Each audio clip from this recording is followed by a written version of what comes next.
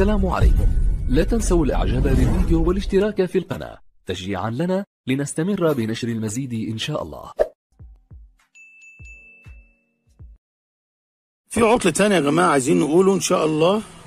العطل ده هو الجهاز بيدفى وشغال وسخونيته كويسة لكن ما بيدفعش السيليكون للداخل.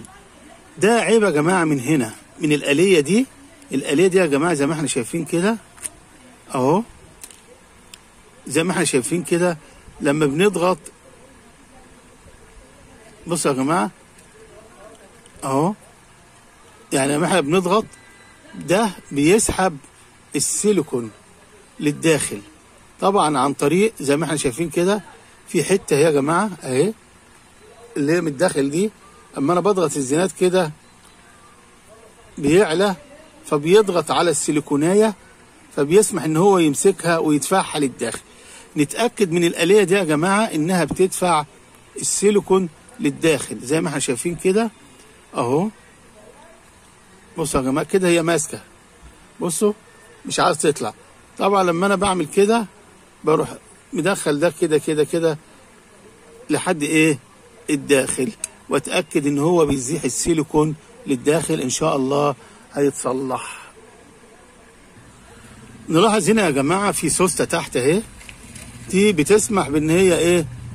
ترد الدراع ده عشان يسيب السيليكونايه وبعدين الزناد بيروح إيه؟ ماسك السيليكونية السيليكونية تحت أو الشمعايه ويدخلها جوه. نلاحظ برضو إن دي موجودة ومش مكسورة ومش واقعة. أرجو إن أكون وضحت الفكرة وشكرا.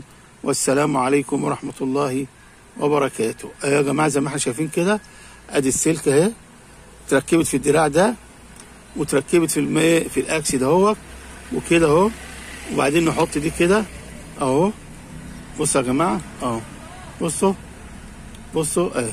أدي الآلية آلية دخول الشمع للداخل عشان تدفع السيليكون داخل الماسورة دي وتخرج بعد كده سخنة. وشكرا والسلام عليكم ورحمة الله وبركاته.